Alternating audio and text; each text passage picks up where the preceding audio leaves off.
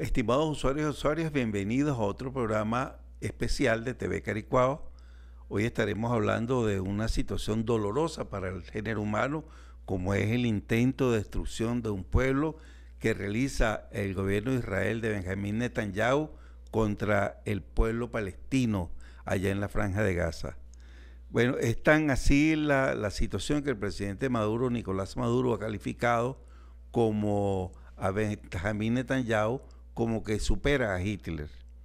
Y no solamente supera a Hitler, sino que a su vez pretende ser el hegemón de las políticas realizadas en los distintos gobiernos, atacando a países fronterizos como, como el Líbano, como Irán y como Siria creando un ambiente hostil, un ambiente de caos y un ambiente de sufrimiento para esas poblaciones. Bueno, para hablar de estos temas y más tenemos con nosotros a Abel Mansur. Él es miembro de la Plataforma Internacional de Solidaridad con Palestina, a su vez es em, integrante de las Fuerzas Palestinas para la Liberación Nacional, FPLP.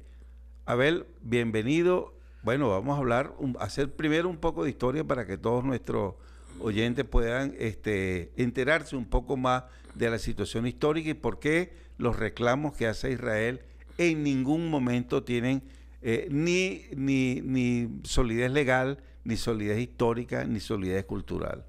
Bienvenido. Eh, gracias, buenos días a la audiencia de TV de Caricuao el genocidio eh, al pueblo palestino no ha empezado hace un año en la batalla de Lax. El genocidio al pueblo palestino ha empezado desde el año 48.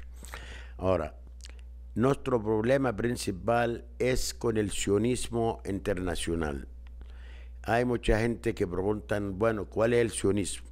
el sionismo internacional fue que planeó, planteó una patria nacionalista para los judíos en el territorio eh, palestino. La primera, eh, el primer congreso del sionismo internacional fue en 1897 con su primer presidente, Theodor Herzl, y los judíos en Alemania, los colonos europeos que adoptan la religión judía, eh, reclamaban una patria nacionalista para los judíos, pero no sabían en dónde. En 1905 se reúne cinco países europeos comandados por Gran Bretaña, después de descubrir las riquezas del Medio Oriente, tanto minerales como petróleo, como hierro, como aluminio en el Golfo Pérsico, específicamente en, la República Árabe de Irak. Entonces se reunieron cinco países europeos, Gran Bretaña, Alemania, Francia, eh, España, Italia, cómo nosotros vamos a dominar a esta zona. Esta zona son uno eh, pueblos analfabetos, son unos pueblos beduinos y tienen bastante riqueza. Y cualquier colonialismo en el mundo, lo primero que busca es la tierra, porque la tierra es la que produce tanto agricultura como petróleo, como minerales, como hierro. Entonces ellos después de 1907 se vuelven a reunirse siete países europeos y plantean lo mismo. Si ustedes quieren vivir bien en Europa, nosotros no tenemos que dejar esos pueblos de levantarse la cabeza. Porque estos pueblos tienen una sola idioma, tienen una sola religión, una sola historia. Y tienen una sola historia y tienen una sola idioma. En cambio, en Europa no, los colonos eh, eh, judíos o sionistas que han emigrado al territorio palestino son alemanes, son rusos, son polacos, son eh, checoslovacos, son de toda parte de, Europa. De Europa. Ahora, el, el, eh, Palestina estaba bajo dominio eh, otomano, el imperio otomano se estaba cayendo, estaba surgiendo el sionismo internacional, la que quiere decir que la que domina la economía mundial en ese eh, momento, con varias familias de raza judía, que Rothschild y otra familia, que eran los dueños de los bancos a nivel internacional, tanto en Alemania como Francia y en Inglaterra.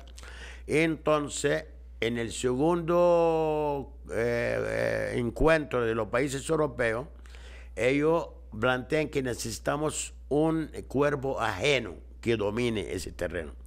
El sionismo internacional supo que necesitan un cuerpo ajeno y fueron rápidamente a presentarse que nosotros somos el cuerpo. Ah.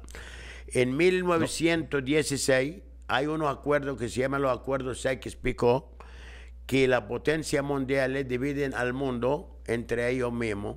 Inglaterra agarra Palestina y agarra a Irak y, y, a Egipto. a ver, y crean la frontera, que era una rayita sin ningún tipo de respeto por la, por la geografía, ni por la historia, ni por nada. Sino una rayita Imagínate, cuadriculada. El único país en el mundo que no tiene frontera es Israel. Así es. No tiene frontera.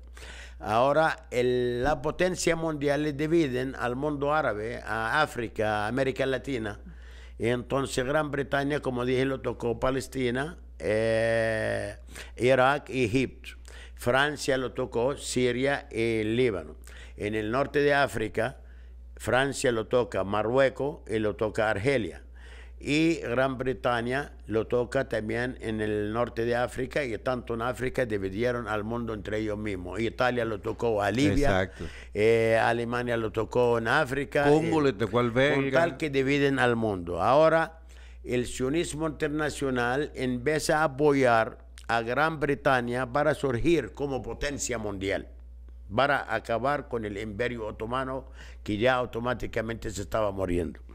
En 1917 el primer ministro inglés, eh, Belfort, eh, promete una patria nacionalista para los judíos, pero ¿dónde? No sabían. Entonces Gran Bretaña lo ofrece al sionismo internacional, lo ofrece primero en las Malvinas, en Argentina no aceptaron. Lo ofrecieron en Uganda, en África, tampoco no aceptaron. Lo ofrecieron en Chipre, no aceptaron. Lo ofrecieron una parte de Siria, no aceptaron. Bueno, ¿qué es la que quieren ustedes?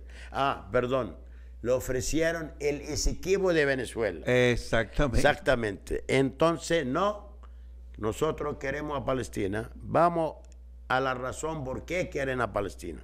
En primer lugar, Palestina es un punto estratégico en el Medio Oriente que amarra por el mar Mediterráneo entre Asia, África y Europa. Exacto. Ajá. Por la parte norte tenemos frontera con el Líbano y con eh, Siria.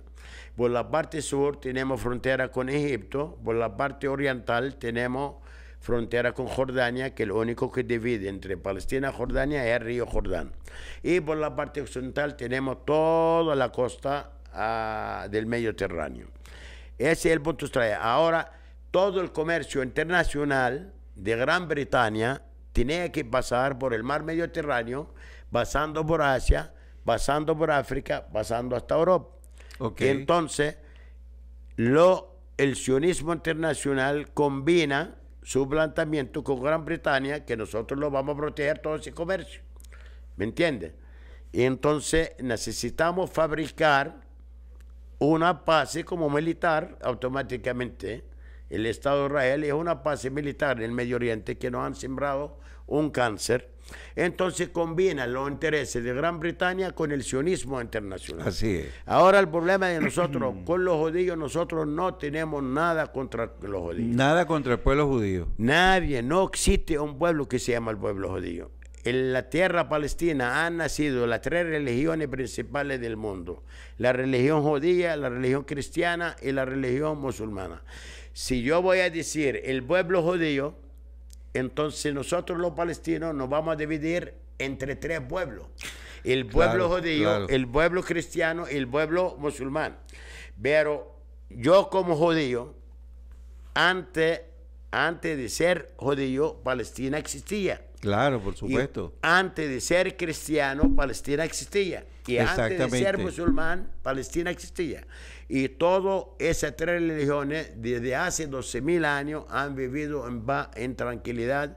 Y más que todo, ahorita hasta ahora hay los tres barrios en Jerusalén, barrios de los musulmanes, barrios de los cristianos y barrios de los judíos. Y toda la vida lo han llevado bien hasta el día que fabrican el Estado sionista de Israel en el territorio palestino con las declaraciones de las Naciones Unidas en 1947, en el 29 de noviembre, en dividir a Palestina en dos estados. Un estado israelí a un 57, 58% del territorio y el resto para los palestinos. Entonces, han pasado 76 años y no ha logrado el Estado palestino a pesar de que estamos castigados. Y hay unos acuerdos que firmó el presidente Yasser Arafat, el líder de la revolución, con. Israel, para eh, crear el Estado palestino que tenía que estar listo en 1999, en cambio hasta ahora no está. No está exacto. El, el- los convenios que firmó la OLP con el Estado sionista de Israel se han cumplido totalmente, pero el Estado sionista de Israel no ha cumplido con ningún requisito sobre el acuerdo. Aparte de eso, eh, Gran Bretaña domina a Palestina a partir de 1917. Hubo una revolución en el año 29 en protesta contra los ingleses. Hubo eh, otra revolución de un clérigo eh, musulmán sirio que se llama Azzeddin el-Qassam en 1936, una revolución que duró tres años y lo apagaron los ingleses, y hubo otra revolución en la década de los 40 contra los ingleses. Entonces se declara el Estado sionista de Israel en el 48 con bombardear y masacrar al pueblo palestino y despojar a 800 mil palestinos fuera de la frontera de Palestina, a los países vecinos como Jordania, como Siria, como el Líbano, como Egipto. Y han masacrado a 523 aldeas en el territorio palestino y han masacrado a niños, mujeres y ancianos. Bueno, ahora, a ver, fíjate que, que eh, está- has hecho un, un recuento histórico realmente apretado de, la, de, de la historia palestina para que todos nuestros oyentes puedan eh, enterarse. Sí. Sin embargo, este, la situación que vive el pueblo palestino no es una situación nueva. El pueblo palestino reiteradamente ha tenido que enfrentarse, luchar y defenderse contra las agresiones del- de los invasores Claro. ah, se han defendido y se han levantado en armas en muchas oportunidades y, eh, y el pueblo palestino ha llevado la peor parte porque, porque es un pueblo que, el- al cual está prohibido armarse, es un pueblo que no puede tener ejército, porque inclusive la, la legislación internacional con el pueblo palestino ha sido muy dura y es un pueblo que al cual se le ha ido negando, quitando el aire eh, eh, progresivamente. ¿Qué nos podrías tú decir al respecto? Camarada Rocker, mira, desde 1948 hasta ahora, el Estado sionista de Israel no ha cumplido con ningún convenio internacional, ni de las Naciones Unidas, ni del Consejo de Seguridad, ni de los derechos humanos. Y tampoco las Naciones Unidas y la ONU ha decretado un solo decreto al favor de la causa palestina. Por otra parte, el pueblo palestino nunca ha dejado de luchar con los pocos recursos que ha tenido, nunca ha dejado eh, de luchar de- desde la, la ocupación de Gran Bretaña a Palestina y en crear el Estado sionista de Israel. El- el, eh, en el 1948 para el pueblo palestino fue una catástrofe total, que le llamamos nosotros al Nakba, que quiere decir en español catástrofe. Y este genocidio es el número uno. Ahora tenemos el genocidio número dos. En la década de los 60 se crea la, el Ejército para la Liberación de Palestina Ah, en varios exacto. países árabes. La OLP. Por- no, no, antes el presidente eh, Nasser, Jamal Abdel Nasser, que Ajá. dominó eh, ma- en, en el, en el mundo árabe. Asesinado por los judíos Ah, también. No, no, él murió normalmente. el presidente Abdul Nasser, que triunfó en el año 52, que hizo un golpe de Estado a un rey, y dominó el nacionalismo árabe y lo, a todos los pueblos árabes. Y él el primero que eh, declaró para liberar a, Palestina y los derechos de los palestinos en su territorio. Él fue, creó en 1964 el Ejército para la Liberación de Palestina en Siria, en Jordania, en Irak, en Egipto.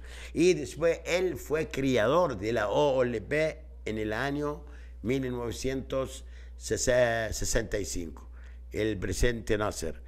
Eh, él fue atacado a Egipto en 1956 porque nacionalizó el petróleo, la riqueza de Egipto.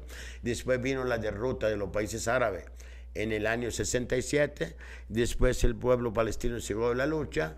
Eh, el Estado sionista de Israel apostó después del 67 y ocupar el resto de Palestina que las generaciones que vienen que se van a olvidar de Palestina, los viejos van a morir, los jóvenes van a olvidar. En cambio, después del año 67, la que ha luchado al Estado sionista de Israel, la que ha nacido después del 67, porque hubo una antifada, una rebelión en 1987, la antifada de la piedra, que lo llamaban, por cierto, todavía, José Vicente Rangel, va a descansar, me acuerdo siempre, él dijo, yo estoy con los pueblos eh, oprimidos, humillados. Yo apoyo al pueblo palestino que está luchando con una piedra contra una tanqueta, contra un avión. Bueno, José Vicente es un hombre de, de, actitudes muy dignas. Exactamente.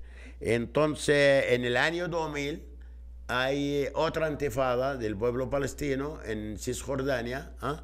y eh, hubo masacre en los campamentos de refugiados palestinos en el año 2000 y ahora en el año 2023-24, la que está luchando contra ese Estado, esos niños que vieron en el año 2000 matando a su padre, ellos la que están luchando ahorita en los campamentos palestinos de refugiados en Cisjordania y la Franja de Gaza.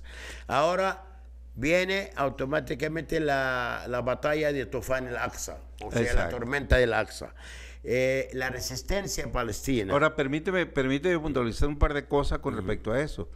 Este, se da este, este proceso del, enfrentamiento de la guerra el, a partir del 7 de octubre. Estamos a un año y, y 15, 16 días un año. De la, del inicio de la, de la guerra, en el cual, bueno, la... genocidio, no guerra. De lo, exacto, el genocidio. Sí.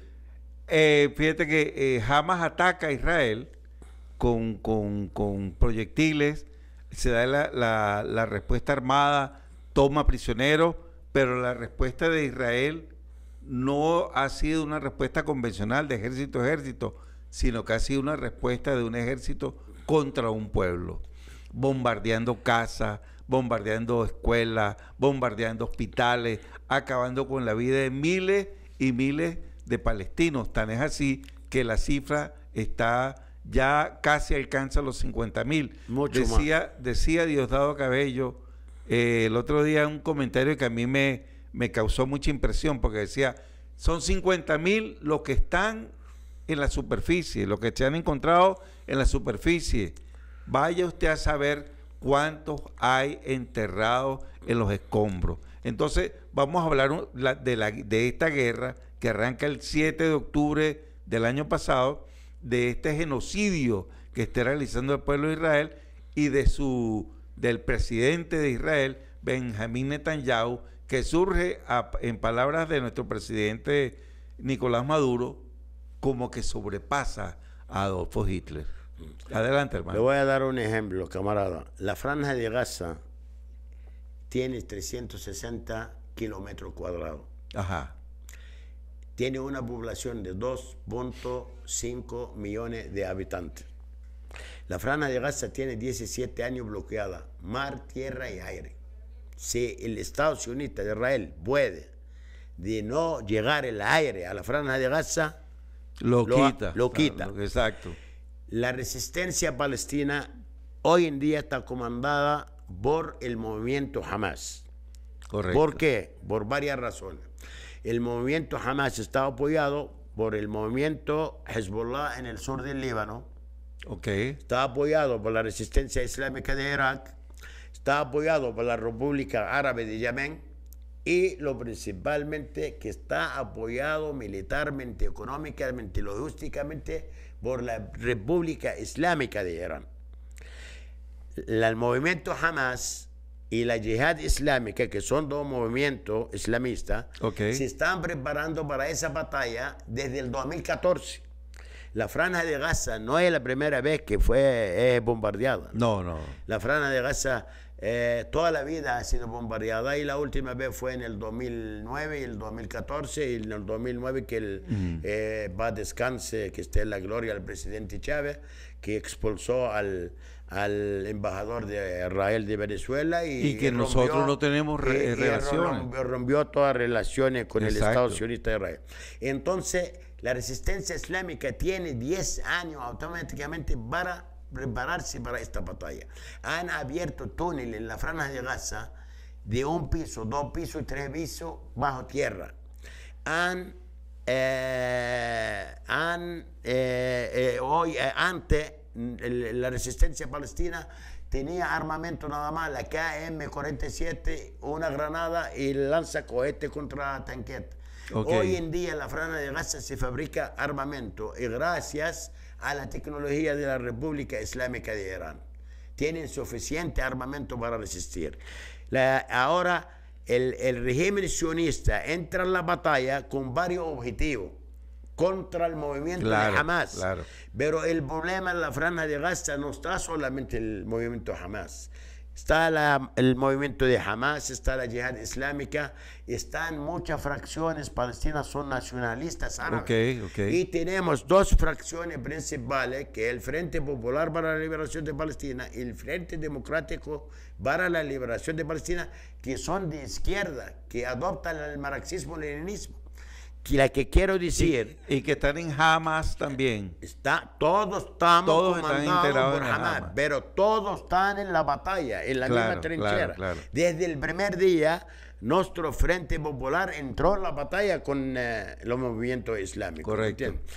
El ejército sionista que llamaban que el ejército invisible ya está derrotado con el ataque de Hamas y de las fracciones palestinas, han logrado una victoria contendente contra ese Estado por primera vez en 76 años. Así es. Sí. Entonces, entra el régimen sionista de Israel con que quiere acabar con Hamas. Pero como dije, no solamente Hamas está, hay más de 10 fracciones palestinas. Y eso no es el objetivo nada más. El objetivo es acabar con la resistencia palestina Claro, por supuesto. despojar el pueblo de Gaza hacia el Sinaí, ¿me entiendes? Después a, a- a- a- a trasladar a Cisjordania, a masacrar al pueblo palestino en los campamentos de refugiados palestinos en Cisjordania y después deportarlo a Jordania. Y llamar a los palestinos para hacer un Estado palestino en el Sinaí de Egipto. Y eso la República Árabe de Egipto lo ha rechazado miles de veces. Ahora el régimen sionista, el objetivo que entró a la franja de Gaza no ha logrado ningún objetivo. Pero ¿cuál es el problema? Él está pagando la consecuencia con la población civil. Claro, Porque claro. es un ejército cobarde. Y por primera vez en la historia, que una primera potencia mundial, que no solamente manda armamento a ese Estado, sino manda ejército también. También. Y- No, y, y ahí se está dando también un crimen de lesa humanidad porque están utilizando a los civiles presos para hacer exploraciones en sitios donde se creen que hay Y explosivos. utilizando a los presos, sí, como Exacto. drones, ¿me entiendes? Los presos palestinos hoy en día están atravesando los peores momentos de, de su vida, pero nosotros tenemos esperanza de liberar a los prisioneros. Ahora Estados Unidos ha planteado varias veces que no, que vamos a arreglar el conflicto, un alto al fuego, y es pura mentira. Y sigue apoyando al régimen sionista. A ver, pero ¿cuál crees tú a estas alturas que pueda ser el fin de esta guerra, que va a significar el fin de este, de este genocidio? Esta guerra tiene que seguir para mí, no va a parar. Porque el, el régimen sionista de Israel está declarando adelante todo el mundo de que no le para a las Naciones Unidas, ni al Consejo de Seguridad, ni a los derechos humanos, ni a los convenios internacionales. Ataque a los cascos azules. El ataque a los cascos azules ahorita, hay 40 países europeos que se van a levantar, incluyendo países colonialistas Correcto. europeos. Y especialmente Francia, que eso que Israel no respeta los convenios internacionales. ¿Cómo va a atacar a los cascos azules? el Claro, en los ¿Entiendes? cascos azules son el ejército de la ONU para preservar la paz. Ahora, por otro lado, el- el- la resistencia palestina antes estaba sola. Hoy en día nosotros, a pesar de todo el dolor, de toda la lloradera que tenemos por los niños, por mujeres, por ancianos, por la masacre, por los homicidios, Ok, pero hemos logrado una victoria muy contundente y aparte de eso tenemos otro eje de resistencia que nos está apoyando el sur del Líbano, Hezbollah, que es un partido demasiado fuerte en una zona estratégica en el Líbano. Tenemos la resistencia islámica en Irak que está bombardeando a diario al régimen sionista. Tenemos a la República Árabe de Yemen que no deja ni un solo barco pasar. El que domina a Yemen, domina a todo el Golfo Pérsico, por eso Exacto. los americanos se están matando por Yemen. Yemen domina el mar Mediterráneo, domina el mar Árabe, domina el mar Rojo y Canal Suez. Mira, si Yemen lanza 100 y, misiles... y no deja pasar barcos. Si no deja pasar ningún barco que va a, A territorios, hasta los territorios ocupados. Ah, ya ha bombardeado más de 50 barcos hasta ahora. Y ha bombardeado con misiles al régimen sionista Israel. Y la respuesta también de la República Islámica de Irán, que el principal apoya al eje de la resistencia, tanto como libanesa como palestina, también por la muerte del líder de Hamas, Ismail Haniyeh, en Teherán. Ajá. Entonces eh, dieron la respuesta en el momento preciso. Y esa No, y- y respuesta hay otro- hay lo un- dolió bastante. Mira, y hay un elemento que tú, que, que, que de lo hemos- no lo hemos mencionado, pero que es importantísimo, Mm. que fue el ataque que hizo Irán contra Israel, el cual uno de ellos acabó con el escudo antimisilístico que tenía Israel y por eso casi 200 misiles cayeron en las zonas no pobladas como hace Israel, sino en las zonas militares. bases militares. Hasta ahora el Hezbollah del Líbano, desde el 7 de octubre hasta ahora, ha bombardeado bases militares. No han bombardeado a civiles. Nosotros no bombardeamos a civiles, ni Así matamos es, a niños. así es. Entonces, el, el ataque de Irán lo dolió. Irán le dijo, bien clarito, ¿ustedes no van a atacar o qué? Pero la respuesta va a ser más dura. El Hezbollah del Líbano, desde hace dos semanas para acá, ya hay más de casi 12 mil heridos en el Líbano y hay más de 3 mil muertos. ¿ah? Y mataron al secretario general de Hezbollah, Hassan ver, Nasrallah. per- permíteme lo siguiente, el tiempo es el dictador, como dicen los comunicadores. Ya estamos casi a final de nuestro programa.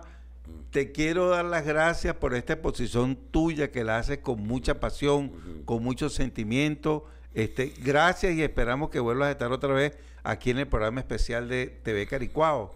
Este, si quieres decirnos algunas palabras para cerrar. Yo quiero acabar con, terminar con la resistencia palestina, tiene su posición, que son cuatro puntos.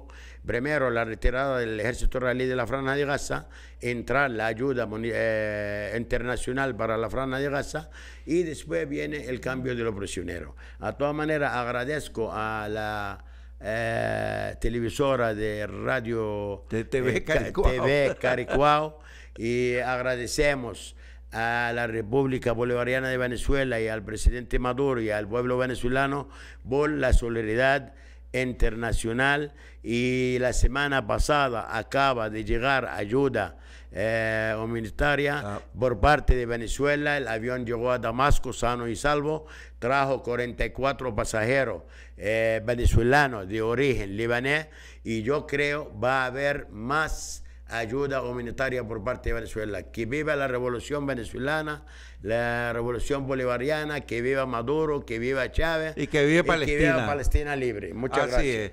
Bueno, mis amigos, de esta manera tan bonita, tan esperanzadora, hemos terminado un programa especial de TV Caricuao con un tema álgido, con un tema que nos mueve a todos nosotros, como es el genocidio en Palestina y cómo un pueblo decidido en armas está en la lucha, en la pelea por recobrar la libertad, por recobrar su independencia, su soberanía y su dignidad.